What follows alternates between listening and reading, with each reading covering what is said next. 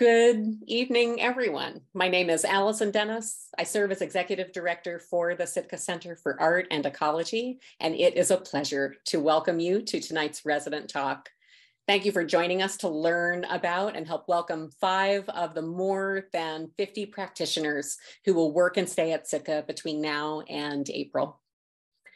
Sitka is located at Cascade Head on the north central Oregon coast and resides on the unceded traditional lands of the indigenous people now represented by the Confederated Tribes of Grand Ronde and the Confederated Tribes of Siletz Indians. There's so much to learn. Just one way that we invite you to do that, especially if you're visiting Sitka or this region, uh, we encourage you to visit the Chachalu Museum and Cultural Center, which is just a 25 minute drive from here and such a vibrant place. And I'll, okay, and now we'll uh, move on with the, uh, the program. Setare Arashloo was born in Tehran and is a multidisciplinary artist who is interested in the intersections of art and social, political, and environmental movements. She graduated with an MFA in studio art from Queens College and an advanced certificate in critical social practice from Social Practice Queens. She has worked as a museum and art educator in different institutions, such as the Museum of Modern Art Queens College and Empire State College SUNY. Her collaborative and individual works have been exhibited internationally in the US, Iran, Afghanistan, France, Germany, and Australia. But tonight she is with us here at Sitka. So wherever you are, I promise we can hear you. So please make some noise and help welcome Setare Arashloo to the Oregon coast and to Sitka. Thank you, Allison. Um, so I'm going to share some past work and some of the works that I've been working on um, at Sitka and uh, just kind of tell you a little bit about my practice and, and what I'm doing here. As a, a multimedia artist, I uh, work with in different mediums and, and, and with, with different materials and I kind of pick and choose my material or, or media as the process goes and sort of the work unravels itself. But I can um, um, say that there's like a, my work has a strong foundation in observation, drawing, and engaging people and environment uh, around me. I have a strong faith, and I kind of mean, I exactly mean faith because it has saved me from being confused or or just feeling of loss in in observational drawing and a lot of times uh, my work start from there although i rarely uh, share those as, as, final works and they usually feed into uh, the works that i'm making so these are some older paintings, ink and paper. Uh, the this is a uh, these are the series of work that I uh, painted right after moving to the U.S. after years of drawing from Tehran and um, kind of as a practice of understanding myself and my body in this in this space and uh, it sort of translated into these memories then and these uh, paintings um, and um, as I uh, went forward and uh, with the MFA at Queen's College, I was able to study with a lot of professors from Social Practice Queens, and that helped me uh, think deep, dig deeper, and and realize more of my practice uh, link in, in an engagement with social issues and things that uh, move me and uh, that sort of um, expanded my areas of practice and, and, and, and projects that I uh, worked about. Um, and it sort of added this uh, phase of research uh, into my practice, which um, I, I, talk about a little more in, in, in this body of work, which um, started with uh, researching uh, sort of um, inspirations that has uh, been with me in, in art making and studio practice. And I went back to these, um, I would call them, I, I, I named them prison souvenirs. These are um, prison crafts made by um, mostly former political prisoners. And I'd seen a lot of them growing up uh, in, in, in my house and uh, friend's house. And they always were these like mysterious, beautifully made uh, objects in, in many different formats and um, in sort of tracing a kind of uh, inspirations that uh, feed into my studio practice, I, I, I went back to them and started documenting uh, where I could find them and if I could talk to people who own them or people who made them. I started interviewing them and collecting the information about their process, their uh, intentions, and and and what these objects mean uh, to them. And it's and it's it means a lot more um, than the objects. And um, there's a lot that goes into it. there's like uh, appropriating materials to be able to create something and then use these as a sort of a vehicle that sends message in, in, in under restrictions that sending out words can be very tricky and uh, these become a sort of a way to communicate with the outside with the dear ones even among the prisoners and and it um, creates uh, a way um, that they connected to each other and uh, skill sharing and um, creating tools to be able to make these works. And um, I just have always been fascinated by these objects. Um, I love history and I um, am fascinated by personal accounts of historical events as opposed to sort of master narratives and i um, these like little stories about how these objects were made in a specific time a specific um, historical time uh, sort of allowed me to dig deeper into these um, personal stories of, of these people um, which kind of then informed uh, many of the projects that came after that, one of which was this series of um, animations and, and, and, performances that I made based on three of the stories um, that I collected during these interviews. Uh, this one is about uh, how uh, one of the people I was interviewing, he was in prison and his wife was in prison. And I will read you this short story that uh, she gave me. Uh, my wife was supposed to give birth on August 18th. It was October and I had no idea what had happened. I received the package from home, uh, searched it thoroughly for a hope for some news. I didn't find anything and the day was over. I was disappointed and tried to sleep, but it was cold.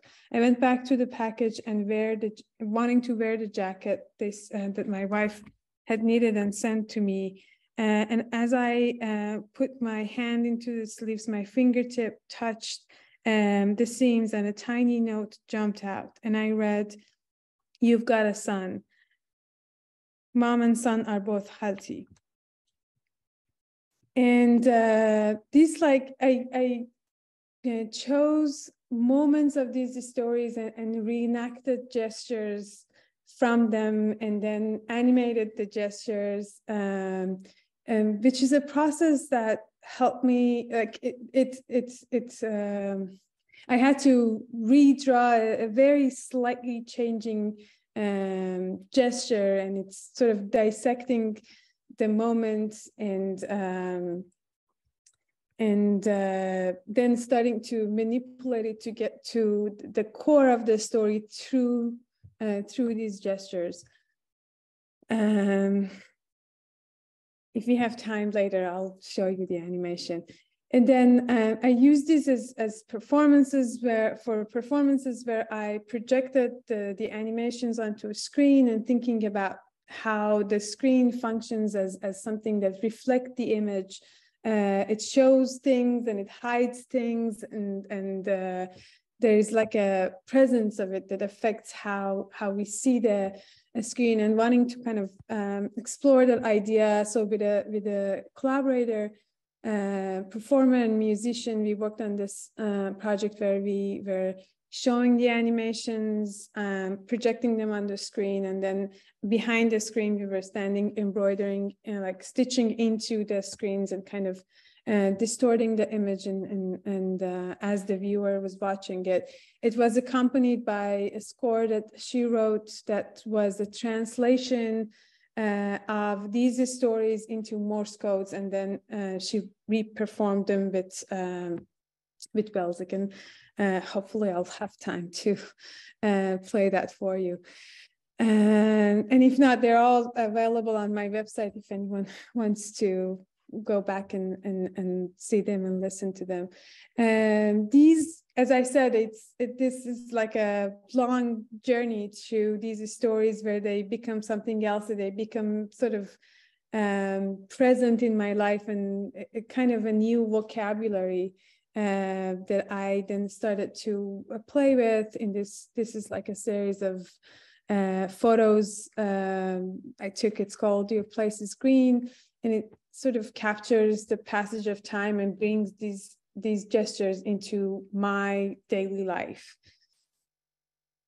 Um, another work that I am showing you here is uh, the is a book. It's uh, it's a picture essay, more like a, a, a graphic novel uh, that uh, is called Body Over the City.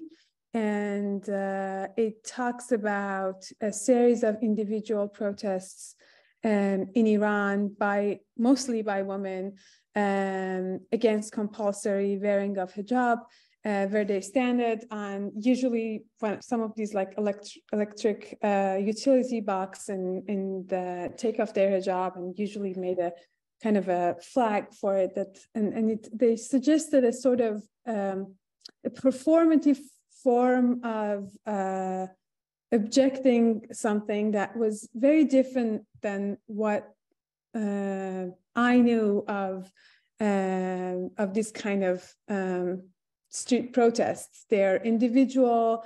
It's uh, the least interruptive for the flow of the public space. It doesn't interrupt anything. It sort of stands above and just uh, make a suggestion of, of, of, a, of an image, of an imagination that was so long uh, sort of omitted from the face of, of that city. And, and so in this, in this book, I'm talking to another performance artist and bringing in notes um, and and sort of reminders from the history uh, of, Iran um, in kind of looking more closely into these um, series of uh, protests. Um, and as for the project I'm working on at Sitka, um, I'm making a series of prints uh, from these drawings I made uh, from my grandmother, um, kind of capturing and documenting, uh, cap capturing her, the um, progression of uh, her dementia. They started as uh, just like me spending time with her, uh, being able to spend time with her physically after 10 years and kind of be part of her daily life and um, it's uh, and this urge of trying to um, uh, fight for forgetting that gesture that light that mundane moments of uh, repeating daily uh, task. Uh, a lot of times she's knitting, reading newspaper, trying to make sense of present against a sort of uh, disappearing past. And our conversations, I take notes of our conversations and, and, and the textuals and visual notes sort of combine and it uh, it's then encouraged me to uh, translate them into uh, prints where the marks are engraved and and there's like another layer of mark making and uh, i'm hoping to be able to print them on uh, fabric and, and, and add embroidery on top of them. Um, this, I was, as I was preparing for this, uh, I, I went through the, these drawings and I found this, the first one I drew from her, where she makes this cynical joke about herself. Uh, she's asking me, what are you doing? I'm telling I'm drawing you. And she said, what, where you were, there were no monkeys to draw and I'm like, as I'm laughing, I feel sad. I'm like, what are you talking about? And then it's sort of as as we talked and then talking to other friends and uh, collaborating with another friend who was also doing some work from her uh, grandmother, I started thinking about this sort of um, hostility towards uh, aging body just at, in the society and and that affects people's mind and they and as like older uh as they get as people get older it's harder for them to see the beauty of, of aging body. Um and that sort of uh was i i decided to put and and uh, put her in public space and sort of um rebel against that hostility and uh let me see if I can play this one. So, uh, so um, part of this work are these animations like that I can project into different spaces, like this one. So this one is just right out outside of my studio here at Sitka, and I was playing in uh, with like projecting the this like short animation into uh, onto different surfaces and, and, and, and bringing it to here. Um, let me see. And then I, as as I go, I think about sequence and duration and and and uh, different ways of uh, putting the drawings together and how that sort of adds another layer of meaning meaning and narrative to them. So like animation and then different ways that the images can have um, can create a sequence together like these accordion uh, notebook that i have here i think i'm out of time so i'm just gonna go these are uh, the dry point prints um, that I make here at the studio. Um, yeah, that's it. Thank you, Setare. Uh, you were just speaking some to uh, how you're uh, the the work you're focusing on during your residency. There's a, a question in the Q and A if you want to type a more uh, a direct answer to. But thank you so much for sharing your work. So Nick Campbell is a musician and sound artist working to design sonic experiences that expand the concept of how music can be created and enjoyed, particularly in relation to nature. Campbell uses organic and unique materials, occasionally along with mechanized and interactive elements to create musically pleasing experiences that welcome listeners to be a part of the music and disappear into it if they choose. Based in Bend, Oregon, Campbell's musical career has included sound art experiences presented at galleries and events across the country, as well as music created for award-winning films. As a member of various musical groups, he has toured the country with artists including Band of Horses, the Indigo Girls, Derek Trucks, and others. His most recent sound art explorations have been centered around the arbo, an instrument created from a living tree to produce music. Campbell's most recent film score was nominated for the Roger Taylor Award and the Idlewild International Festival of Cinema this year. So please make some noise of your own and help us welcome Nick Campbell to Sitka. So yeah, first, th thank you for that introduction. And thank you too to Nicola and, and Tamara. Uh, yeah, I'm very grateful for this experience here at Sitka. So uh, thank you for everything you all have done.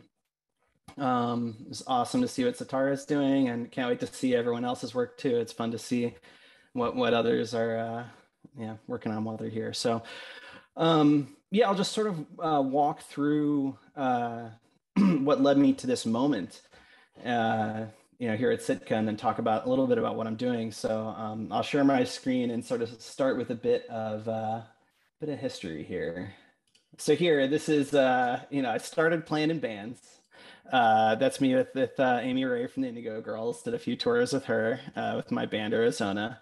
Um, that's what you're seeing, correct? You're, me with another musician. Cool, great. When I had long hair and all that. Anyway, so that was uh, you know my beginning, uh, just touring the country, playing shows, and this was my next band. moved to Los Angeles. I'd started back east in New York and North Carolina, and ended up out in LA playing more music. Um, but uh, initially, my, my change from like when and to this day, I still record albums and play, play with other musicians and things of that nature. But um, somewhere along the way, working in the music industry, I I, I just ha- had almost like an instinctual feeling that it was just way, way overinflated. You know, there's a 10,000 bands, everyone's battling for someone to pay attention to them. So in a way, uh, my, my, first walk away from uh, traditional music was almost born out of the uh, desire just to do something that an, a seemingly infinite number of other people weren't already doing. So, you know, I started thinking about what really inspired me in art and what drove me to try to express myself through music. And you know, one, while my passion's always been centered like in music and melody and composition, like um, I was always really inspired by installation artwork. And like the, the where that really started was actually with a, uh, an installation I stumbled into as maybe a 17 year old, I think, of a Billy, Bill Viola. Um, and he's a wonderful video artist and it really changed my life. And I, I, I, for whatever reason, I started meditating on what is that that he did that was special. And I recommend everyone go check out his work. I, I am no authority on uh, you know gallery art or video art in general but his work was really meaningful to me at that time in my life um, and, and so i started to really think is there a way for me to take what i find beautiful and valuable about sort of gallery and conceptual art and start to tie that into like like normal music composition and that's where it sort of started so the first thing I did was I just uh, tried. There was this weirdo art gallery in Los Angeles called Machine Project, which unfortunately is no longer. But um, I just dropped him an email and said, "Hey, I've got this weird idea. Can can we talk about it?" And it was this idea based around a song I'd written called "Pull Through," where I'd like play guitar with strings. Um, to sort of, and I had to, like it was very all over the place. It was my first time doing something in a gallery. I was just sort of was throwing stuff at the wall. So I'll, I'll play this quick video. I don't know how it's going to come across. Also, let me know if you actually hear the audio. I try. I'm trying to hook up my audio. So sort of fast forward. I might talk in this video yeah, I've got Sam playing one guitar. I, I had, which I still want to do more of that. Actually, these guitars played. My name is Nick Campbell, and I did a project called Pull Through here at Machine Project uh, these ongoing, uh, you know, sort of like slow chord progressions that would change over time, played by a machine. Video. Uh, um, and then along with that, I wrote an electronic that up to be sort of central to the whole thing, since that's where it came from, so the, the, idea initially. And then I had one guitar with uh, two motors that I played manually, not with the Arduino, and so there were just buttons that I could hit that would turn the motors on, and each motor played a different chord on a guitar. Um, and then I played another guitar just with a paintbrush. Um, created like uh, anyway. That was just the first idea. It was like sort of like okay, let's see what I can do in an art gallery. Again, it was sort of all over the place, did a bunch of stuff, but um, you know, thankfully they filmed uh, sort of the creation of it for me, and some people saw it and started to lead down this path where other people reached out and said, "Hey, do you want to do this?" And it I started to expand uh, sort of what I could do there. Eventually, you know, sort of the next stopping point on this, I did a few different things, but I'll just sort of fast forward. Um, I, I, I, expanded on this idea of playing guitars with sand. so, um, uh, you know, I, eventually I want to get like a, a full room of, of, instruments like this that you could do like a hyper complex composition. But basically, I, I um, you know, I'll, I'll I did this uh, this was an installation that sat for a month, but it could also be performed by people who just walked in there. But I also uh, did a performance like with my band at the time and played a song with it. So the thing that, like, what I'm doing here is um,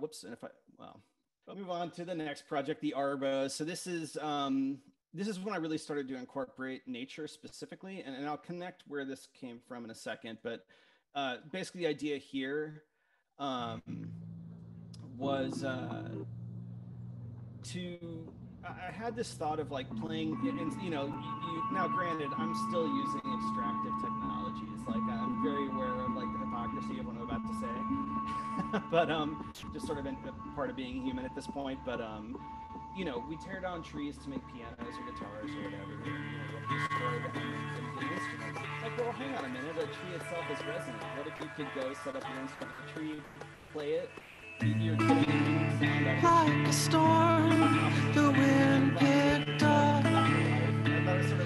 carried us a song during a different uh, of what is to come.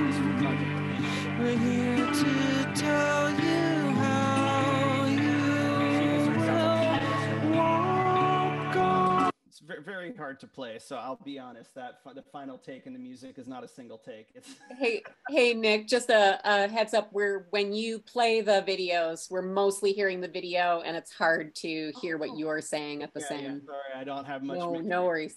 Okay, so yeah, and I'm sort of blabbing on top of it. What I was just trying to say about the trees was um, I don't know if you picked up what I said about just sort of symbolically the idea being that um, you know instead of destroying a tree to make an instrument, you could you know use it to play music in a way that that um, yeah that you can use the tree, work with it, and move on. It lives its life and it lives yours.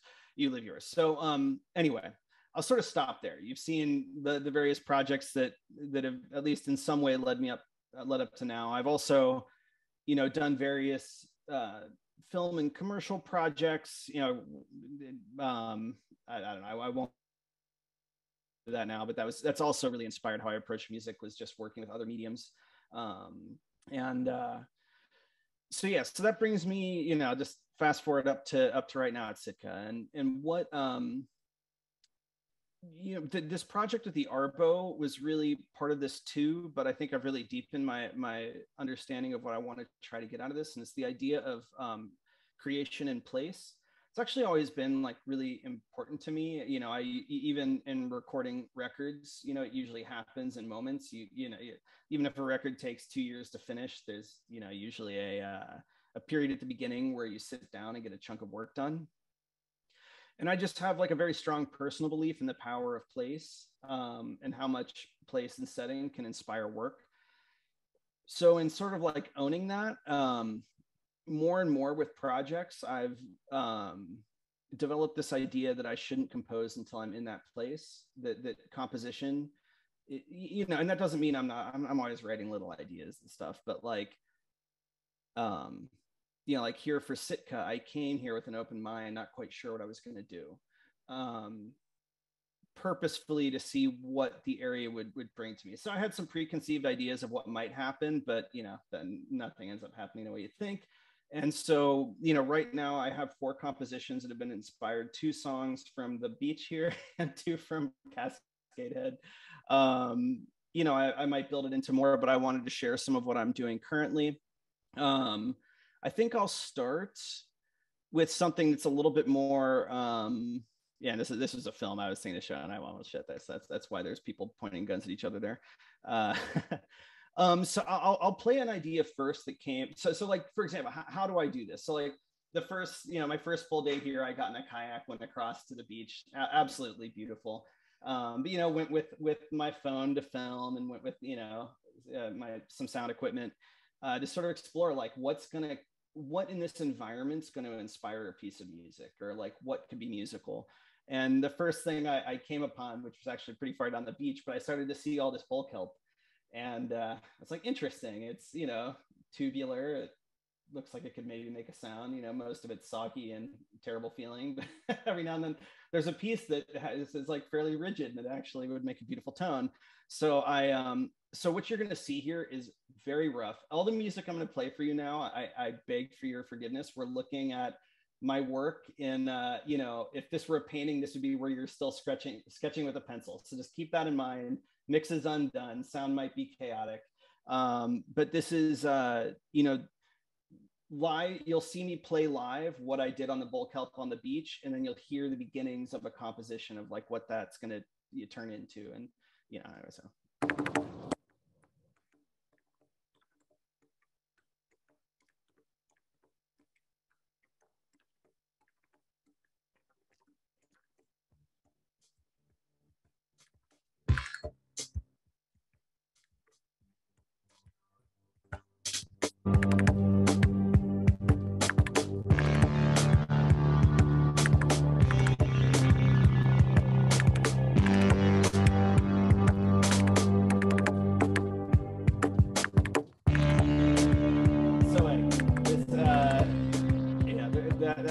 very simple idea, just showing at the loosest, you know, electronic drums in place of where I'll, you know, overdub real drums and all that kind of stuff. But um, yeah, so you know, this rhythm just sort of felt right on this bull kelp. I, you know, bring it in, loop it, and start to add to it. I've also, you know, my, my last, uh, you know, sometimes things that I do are a little like acoustic based, other times more electronic. For some reason, this time I've been really um, something about what I'm doing here is drawing me towards uh, synthesizers. So, so I think this is going to be a more electronic project.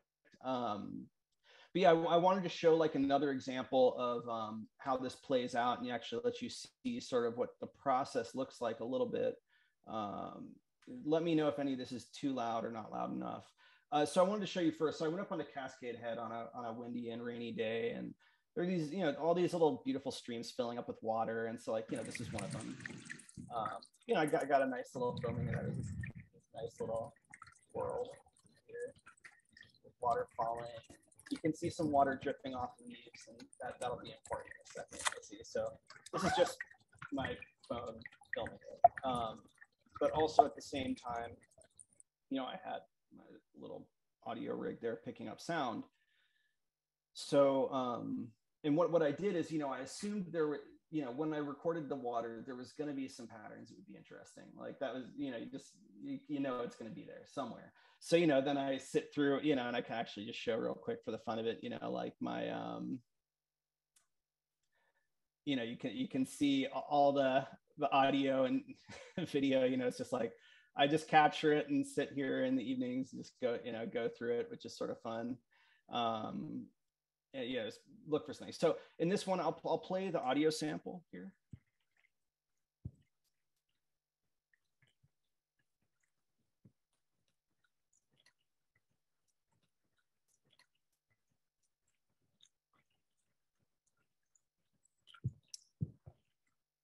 Okay, so that last thing we just heard, it might be hard to hear. I heard a little pattern in there. Um, it's right here.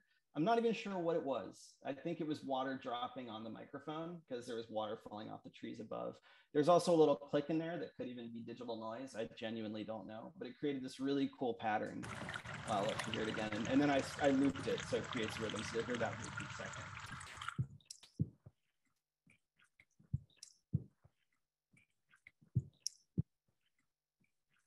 the cool thing is it's both a, a rhythm, doom, doom, doom, doom, doom, doom, doom, doom, doom, doom, but it had a slight melody in it. So I was like, oh, that's cool. I got a rhythm and a melody. I'll take it. And then I started to think, well, okay, but it's sort of hard to hear that melody. So what, you know, what pulls it together? So what I love is this is an area where the hillside and the beach came together. I was like, well, the bull kelp would be perfect for this. So um, the cool thing about the bull kelp is you can cut it at different sections and you'll get a different tuning on the tube. So, you know, I brought some back to the studio. They're rotting outside the studio and I need to throw them away. But uh, the, these are before they rotted uh, after I cut them up and tuned them. So you'll be able to hear the same melody here.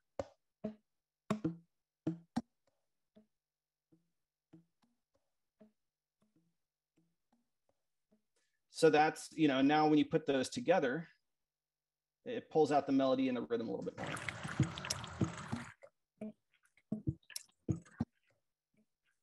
So you know, so, so now we have a background thing. So then that that becomes the loop that I start writing on top of. I'll just let this play for a second. You can hear where I went with it.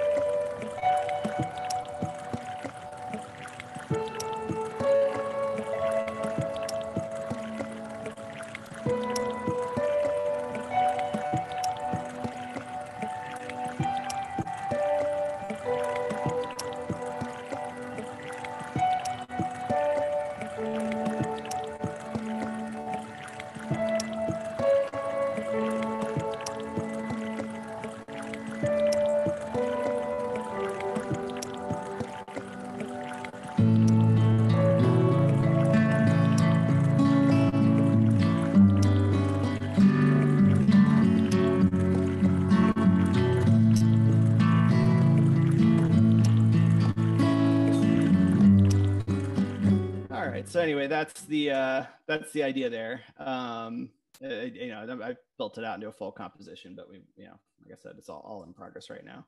Um, so I, that, that's sort of it. You know, like I said, I've got you know four individual pieces of music I'm working on now. Oh, I guess one other thing, I actually am using the Arbo here too.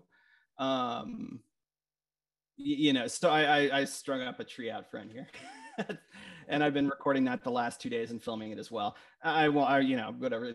I won't go into that now, but I'm, I'm also bringing in that sort of concept um, because I really do love the idea of like connecting with a specific tree in the area that I'm working in. I think it's sort of a, fun thing that, that feels meaningful. Anyway, uh, th- that you know, I, I, know it's probably time to move on to the next person. So that, I think that sort of encapsulates, uh, you know, a how I got here and b what I'm doing while I'm here. And, and to that question that that uh, that was asked, uh, you know, the, uh, the, the, the ability to come here and work at Sitka is like, um, for the kind of thing that I'm doing, it's, uh, it requires something like this. So like this space, it literally, I, I couldn't be doing this without it. So I, I'm deeply grateful for this opportunity and it will allow this next piece of work to exist. So thank you. Thank you so much, Nick. And uh, for taking us inside work in progress. It's always fun to see things that don't quite have a bow tied up. Oh, totally. Yeah, yeah, thank yeah, you so much. I'm down to share. Thanks. I'll have you uh, mute your mic, great. And um, uh, so Rukmini Callimachi uh, was going to present next, but was called away at the last minute. She's actually working on a book project while in residence at Sitka and an interview that uh, she has been uh, waiting to come through just came through uh, today. So we're sad that she's not with us. She sends her well wishes and regrets. I thought I would go ahead and read uh, her bio just to take you a bit inside her work and to just honor her presence as part of this cohort in spirit. So Rukmini Callimachi began covering terrorism in, in 2013 when locals in the city of Timbuktu, Mali led her to the building that had served as the headquarters of Al-Qaeda's North African branch. On the floor and in overturned cabinets, she found thousands of pages of internal Al-Qaeda documents, providing a window into the terror group's operations. A three-time Pulitzer Prize finalist, Callimachi spent uh, seven years in West Africa for the Associated Press before joining the New York Times in 2014.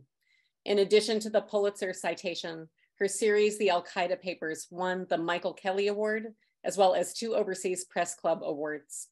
Her reporting on how Al Qaeda and ISIS were bankrolling their operations through the ransoms paid by European governments to free their captured citizens won the George Polk Award and Society of Professional Journalists Sigma Delta Chi Award for Excellence in Journalism. In 2016, she was awarded the inaugural Integrity in Journalism Prize by the International Center for Journalists for her coverage of ISIS's theology of rape and their enslavement of Yazidi women. Just on a, a, personal note, a few years ago, we were reflecting at Sitka uh, on the residency program and thinking about people whose work takes them to the front lines of natural and social unrest and injustice. And uh, we were actually talking about journalists uh, in particular and what it might look like to serve them through our residency program. So we're just thrilled that uh, Rukmini is uh, here and um, uh, excited to learn from her about how best to support working journalists with residencies in the future. So uh, she sends her greetings and Trust will look and see if we can find a time to reschedule her to share uh, more of her story and her work with you. And we'll uh, also post a link, I think, if we can, um, to her uh, uh, website so you can just learn more about her. Okay. Chino Chung is a queer and trans Chinese Mexican creative nonfiction writer and grassroots activist and is currently working on a collection of short stories that integrate his social activism with his intersectional identities. He is an MFA graduate of the California College of Arts and is currently pursuing his uh, Master of Arts degree at San Francisco State University. His work appears in Gender Queer, Voices from Beyond the Sexual Binary, our Family Coalition newsletter, and he is editor of the Asian Pacific Islander Transgender Anthology. Chino lives in Oakland, right behind, uh, between the Latinx district and uh, Fruitvale and Chinatown. Welcome, Chino Chung, to Sitka. Hi, thank you very much, Allison. And I just really wanted to thank Sitka and the Sitka staff for all your generous and lovely um, help. And um, I've just really enjoyed my time here. This is my first residency, so I feel very privileged and honored to be here with um, all these other just brilliant residents. And I'm up in the just a lovely, wonderful 80 acre um, uh, Oregon grassland um, meadow that I wake up to every morning and just look down on the meadow and see the elks, the herds of elks laying there and grazing on the grass. It's just amazing. And I'm a really early riser, so I get up at 4 or 5 a.m. and I find myself in the office. There's this beautiful office on the second floor that just overlooks the meadow. And I'll just sit there and wait until the um, the sky starts turning gray and lightening up and I'll just look and see if I see any um, elks laying down. And, um, you know, I just feel like I've, I don't know, formed a bond with them or something. You know, I, I went out the other day and there was a female and a male elk and I walked outside. They were only about 20 feet from me.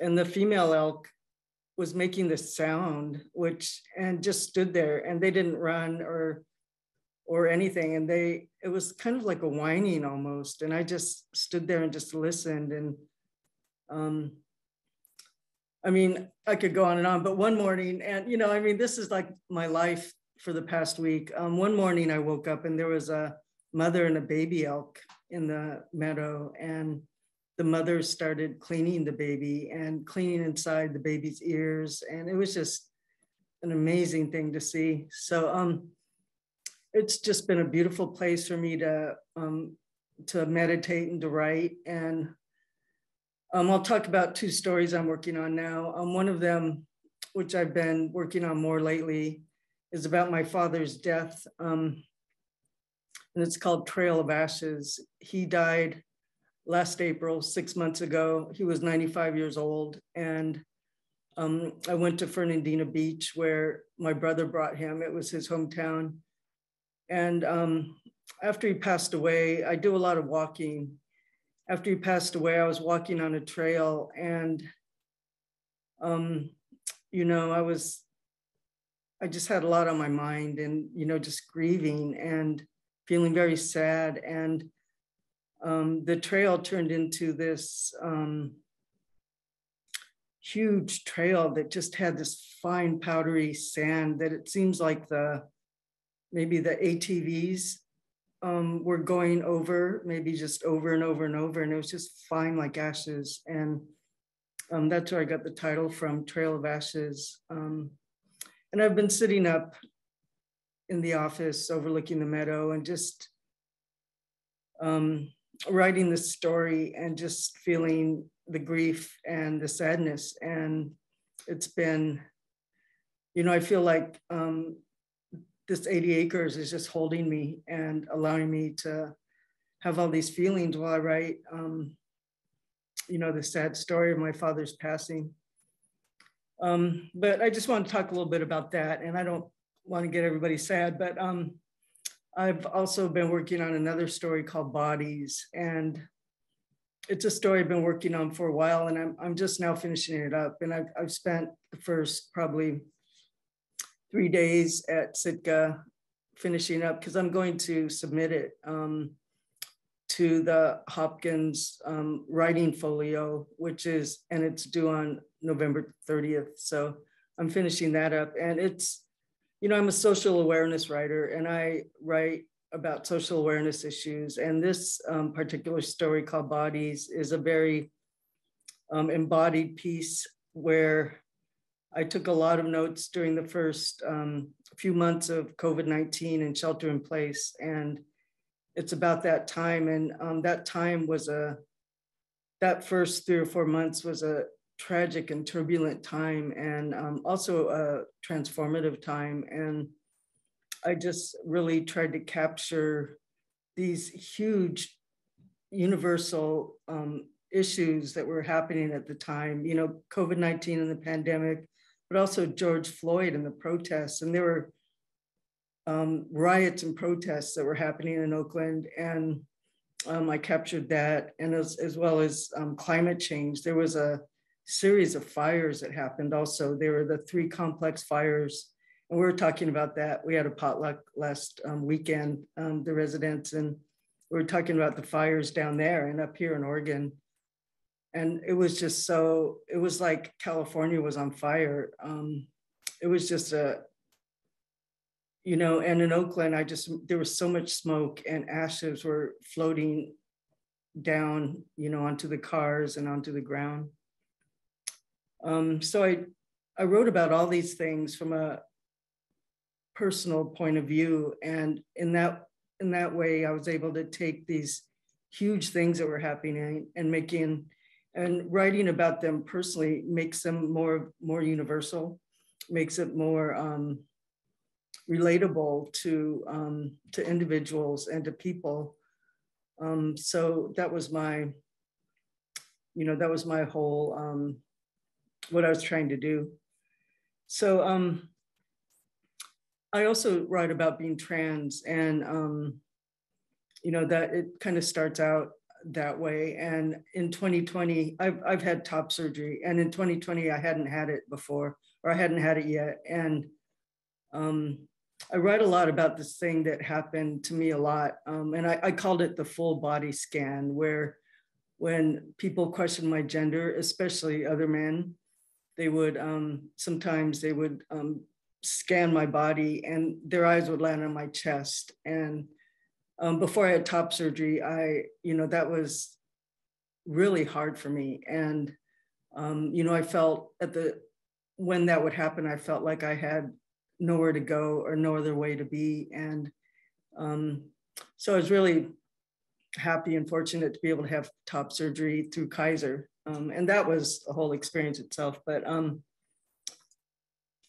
but I, I said that because I'm, I'm going to read a, um, a scene from, from my story Bodies. Um, and it's when I first started walking. It's a, it's a story about walking through history through everything that was happening at the time. And so this is when my first walk in shelter in place. And um, so I'm going to read this scene. At first, I walked through my East Oakland neighborhood, past the gazebo where Luna and her gender fluid court practiced cumbia for her quinceanera, past the gray intersection where neighborhood boys screeched out sideshows that spun dark circles in the worn asphalt, past parked cars that lined both sides of the street, bumper to bumper, to the top of the hill.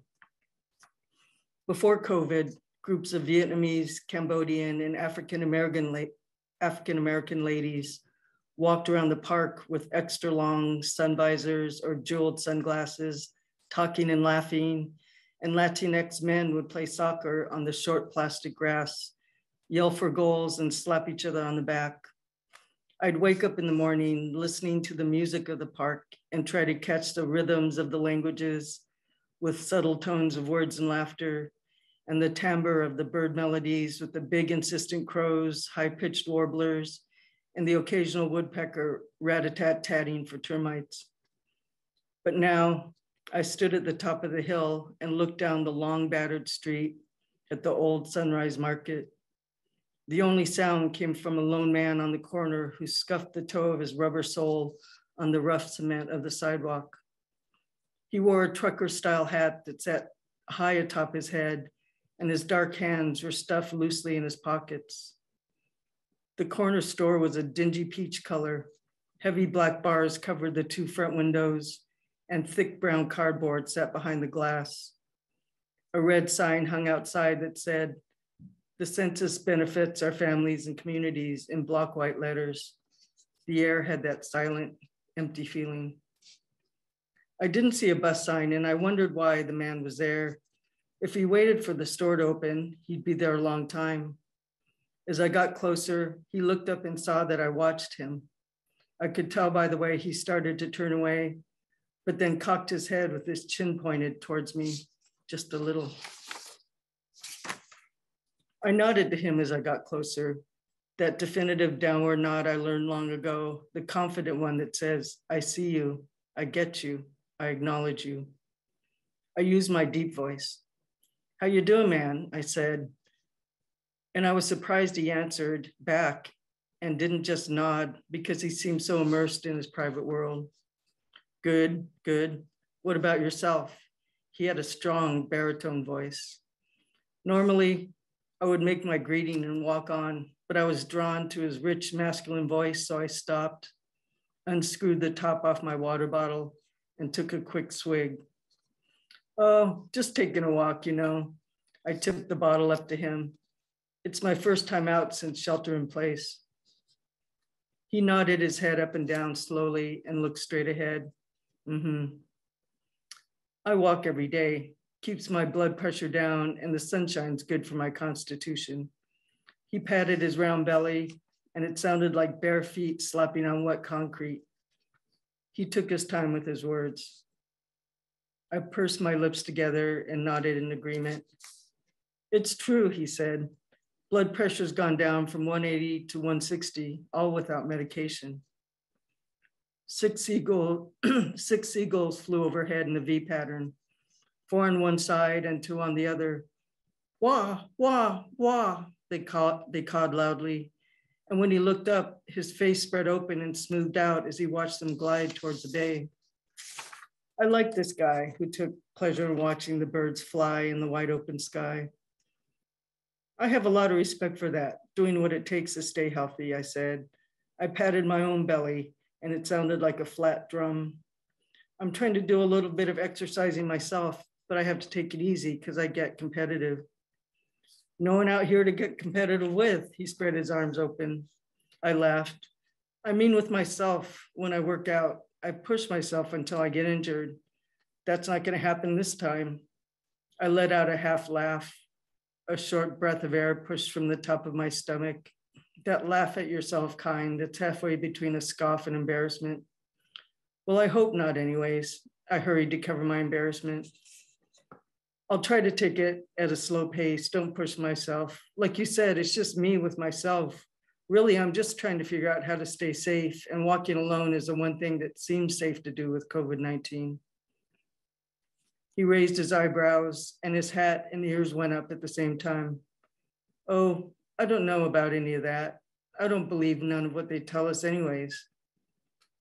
I had heard about people who thought COVID was a government hoax or God's way of punishing us. It reminded me of the AIDS and HIV epidemic in the 80s. I wondered what he thought, but I didn't want to ask questions, so I kept talking. Well, it seems safe if we stay six feet apart, but the thing I don't believe is what they're saying about masks, that, it, that it's riskier to wear them. I think they just want to save them for themselves.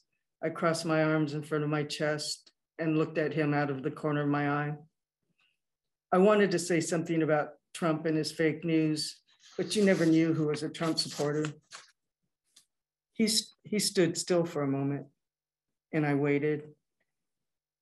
He grabbed the brim of his hat, took it off, put it back on, and then adjusted it up and down and side to side in quick little movements. When he finished, it was in the exact same place, high on his head. None of that's going to matter anyway, he said. He snorted through his nose, a half laugh, half scoff.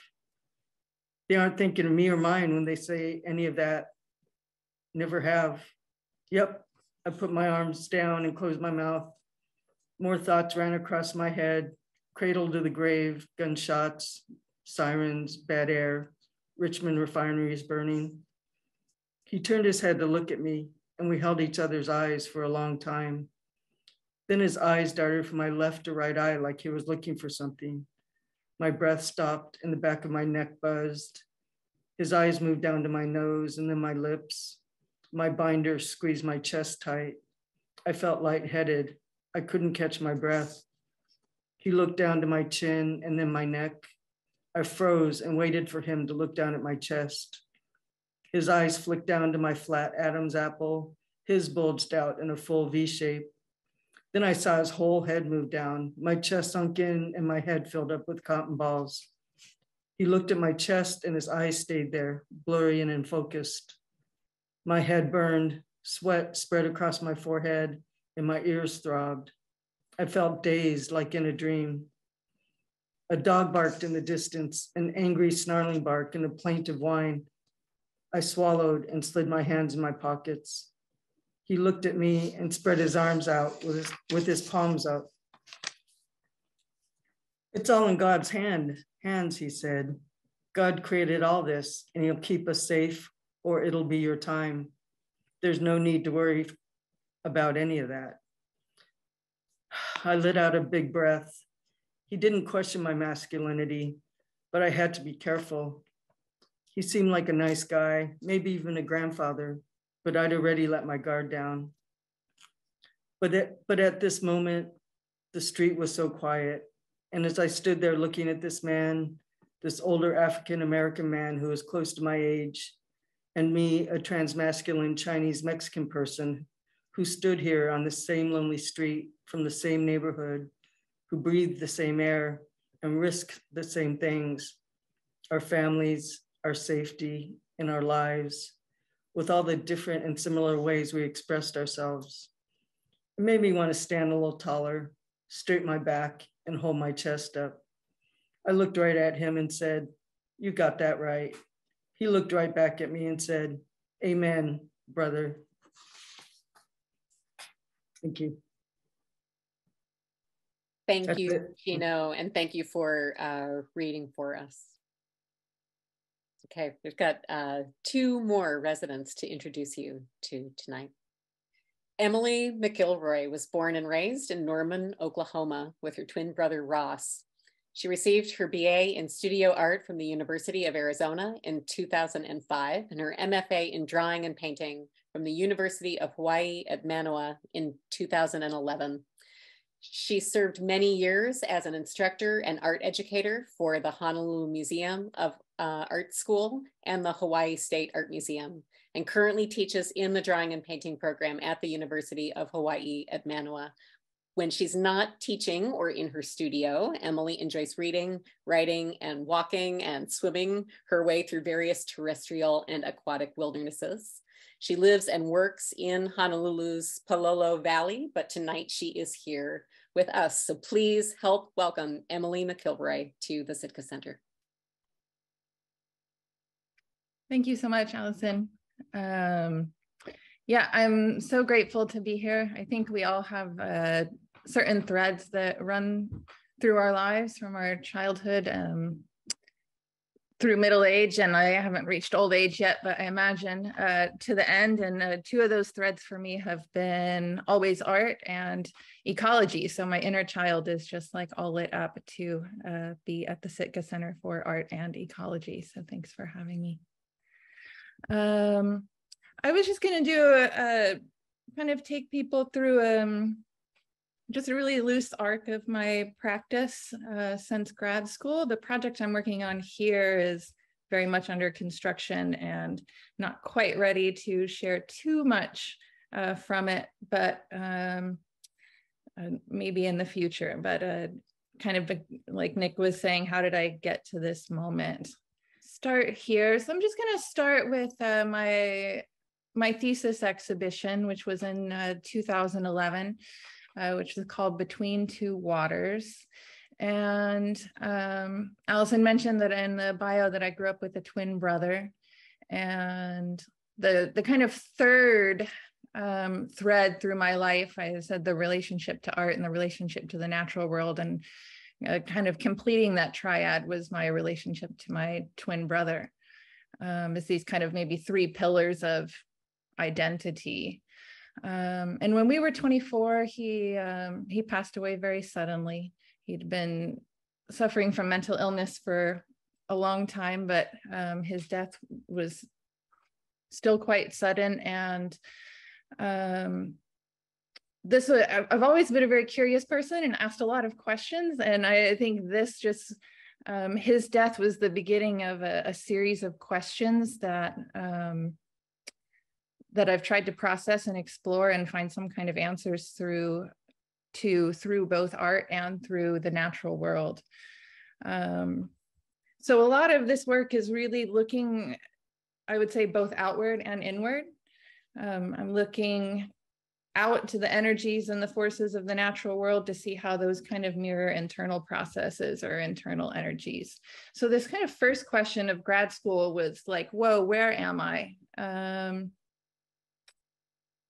my my spirit felt very entwined with my twin. So if he's not here and I'm here, then I'm kind of left in this very liminal space.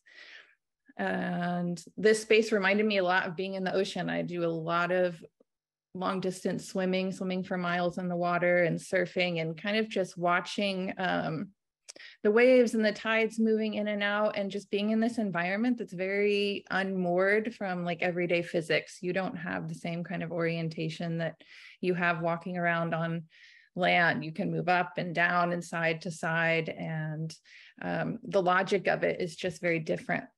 Um, and this kind of dissolution of absolutisms or this kind of sense of being unmoored was um, a lot how I was feeling on the inside as well. Um, so I did two pieces, one that was kind of trying to locate myself in space, which was this one. And then the second, um, and these are very large. This piece is 13 feet tall. So this was kind of trying to locate myself in my body, uh, the two waters being the waters of the world and the waters of the body. Um, and yeah, also thinking about, I don't know how many of you have spent a lot of time underwater, but everything a lot of things under there kind of look like the inside of bodies because the ocean is almost like the blood. So you see these corals or these anemones and like everything feels very organ like and um, there's this feeling of like you go underwater and then the world's just been kind of flipped inside out um, which was also how i was feeling um, in my own body. So i found a really kind of interesting parallel there and these are just some detail images. These works are quite large, so it might be kind of hard to tell um, the surfaces. I work a lot very additively and subtractively, uh, kind of mirroring that process of creation and destruction or that sense of being in the world and not being in the world. Um, form coming into being and coming out of being. An installation shot here just for some scale. Sorry, that one's a little blurry. And then um, this second kind of question that I ended up in, um, this one was more more of a crisis than a question. It was like, okay, I'm in this place and I'm not sure where I am, and I can't really reconcile kind of straddling these two worlds. And I'm trying to hold all of these different things together at once in my psyche. And I did this residency in uh, Brush Creek Foundation for the Arts in uh, Saratoga, Wyoming, and there were these hummingbirds that would come to these feeders outside our studios. And um, progressively over the course of the month, there were more and more birds, and they were getting more and more aggressive. And it was just really fascinating for me to watch these creatures that we put on uh, Hallmark cards or kind of think of as being really angelic and delicate take on this um, really rather violent um, posture towards one another. And I was like, oh, this is the question. Like, how can um, how can something like my brother or myself or any of us be uh, these two things at once simultaneously? How can we be both fragile and graceful and beautiful and delicate and also also ruthless and destructive um, and and at times violent. So um, this piece was trying to pictorialize all of those things happening um, at once.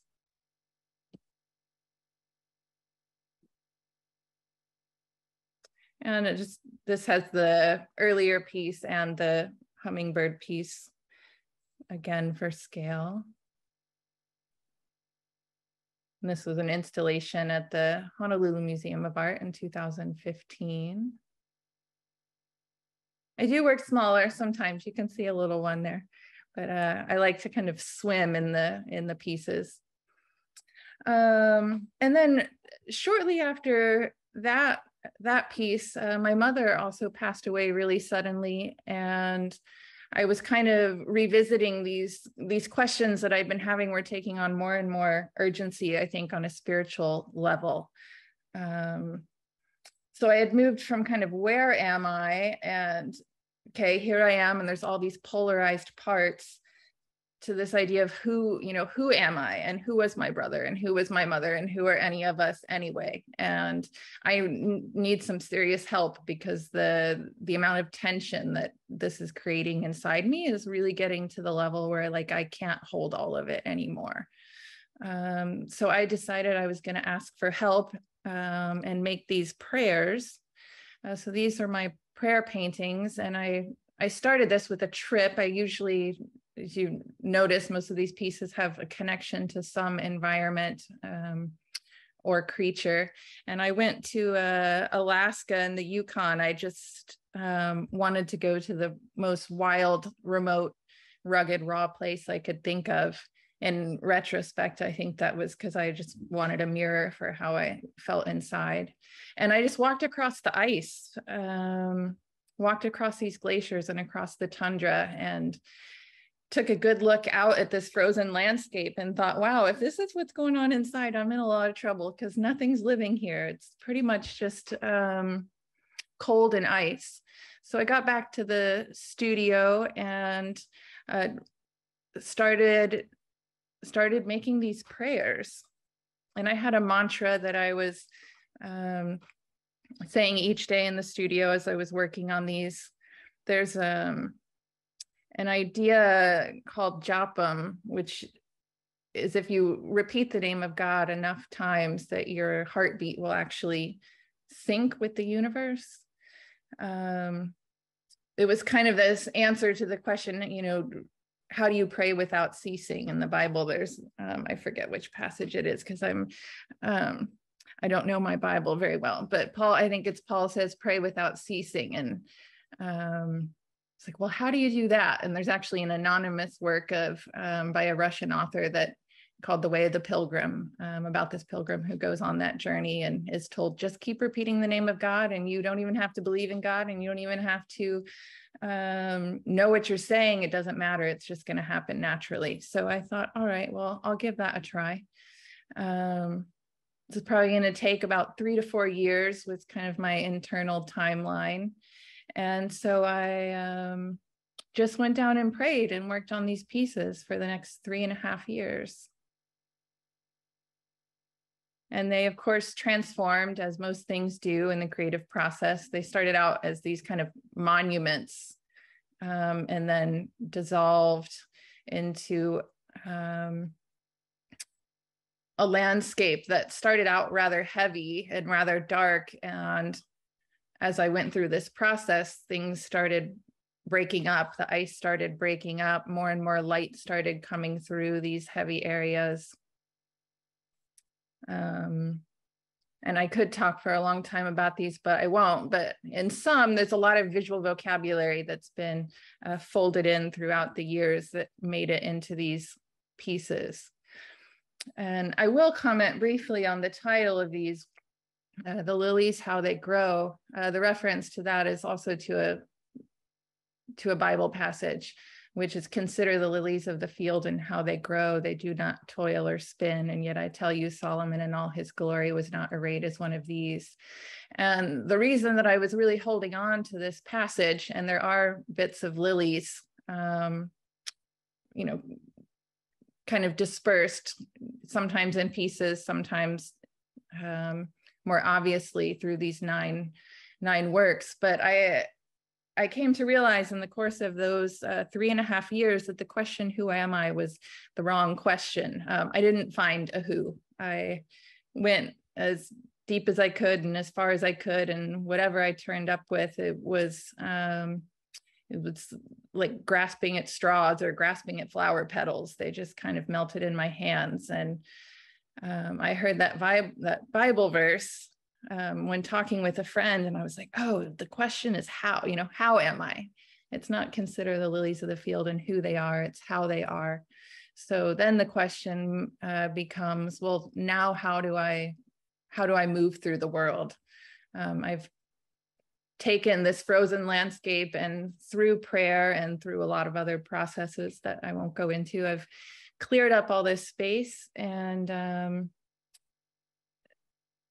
now what can I bring through? And that's kind of where I've landed at now with this project I'm working on. It's here at Sitka is an artist book. It's called the working title is The Hidden Meadow. And the meadow really being that space where the lilies are and that space where um, you just kind of offer yourself to the universe and the external and the internal no longer is even a division. Uh, perhaps that dissolves and um, if I'm lucky, if I get to where I where I hope to get, you enter some kind of non-dual awareness where you're just in the field and then you die and then you're in the field again and then you die and maybe that's all the field. There's no life and death either. But um, that's where I'm at now. So um, thank you so much. Thank you, Angie, for sharing your work. We've got one more presenter. Rayna Schaefer is a tribal citizen of the Cherokee Nation. She was born and raised in Oregon, where she still resides with her husband. They have two children and three grandchildren who all live locally. Schaefer has been weaving traditional Cherokee double walled baskets for over 20 years and was fortunate to have learned from a Cherokee elder. Weaving is Schaefer's connection to her ancestors and we are glad that she is now connected with Sitka. So please welcome Rayna Schaefer to the Sitka Center. Hi, everyone. Um, as Allison said, I was taught by an elder. Sorry, I always get emotional thinking about it. But what I rarely share is that I was taught by an elder through a vision. And it was actually a vision that I ignored for several days until I got to the point where it was all I could think about. And I knew that I was supposed to be making baskets. So I got the material out again and gave it a shot. And I made the basket and I never looked back. Um, I wanted to share with you guys kind of my process of how it all goes. So I use um, commercial reed and I don't I don't feel bad about using commercial reed at all. I firmly believe in supporting third world countries and their income to their families. Um, this I take the bundles apart and I make piles on the floor.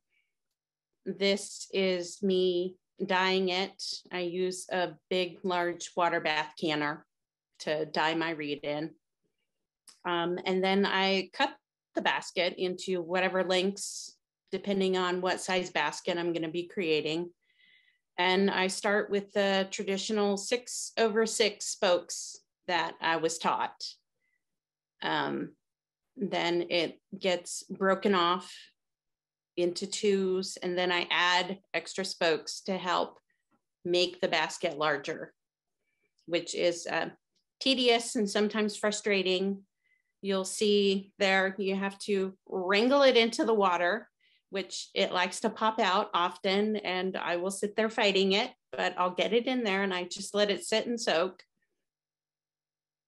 Um, here's where if i'm getting ready to turn the basket because it literally is you weave up a basket and then you turn the top and you weave back down to make a double wall basket so essentially you're making two baskets in one.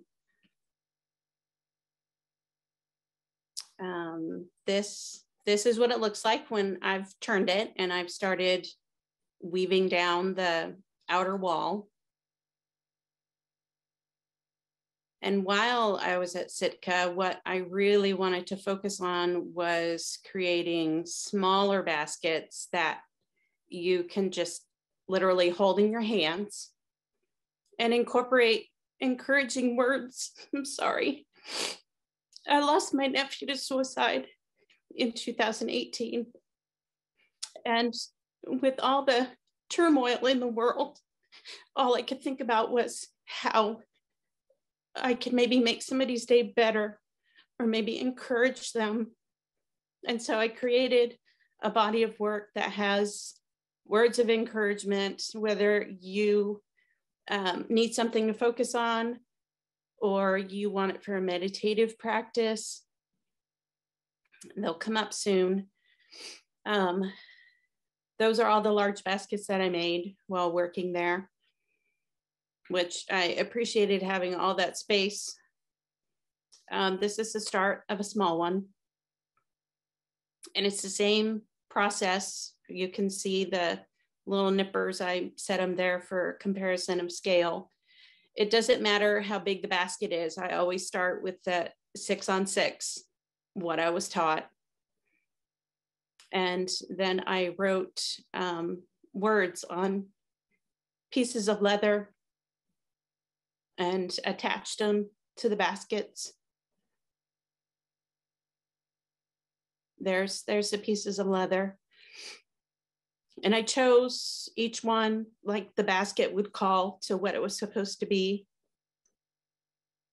just in the hopes that it would maybe make somebody think and encourage them that there is light even when you're in the darkness.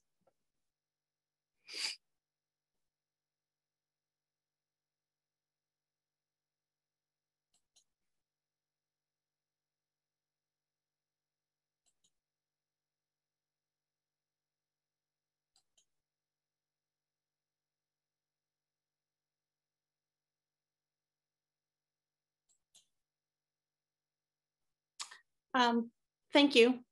Weeping baskets has always been very spiritual to me. Um, it's very sacred. It is something from my people that I can continue to bring forth into the world. My parents were born and raised in uh, Oklahoma. My mom's people were considered old settlers who came out to Oklahoma before, well, to Indian Territory before the removal. Um, my dad's people were on the Trail of Tears. And it's just living in Oregon is great. I love it here. We, we call it God's country. Um, but I always felt disconnected from my tribe and my culture until the baskets. And that's what brings me back and it brings me to my people. And I know who I came from and the strength and the courage that they have given me and continue to give me as I know they're around me and they're supporting me and my family and watching out for all of us. So thank you. And thank you, Sitka. The time there was so beautiful and magical. And I appreciated being able to share it with my husband. And I just, I can't thank anyone enough I just really appreciated it. Thank you. Thank you, uh, Rayna. There's some comments coming in in the Q&A. I'll just read uh, this one. Thank you for sharing your experience so vulnerably. Your practice is so thoughtful and beautiful.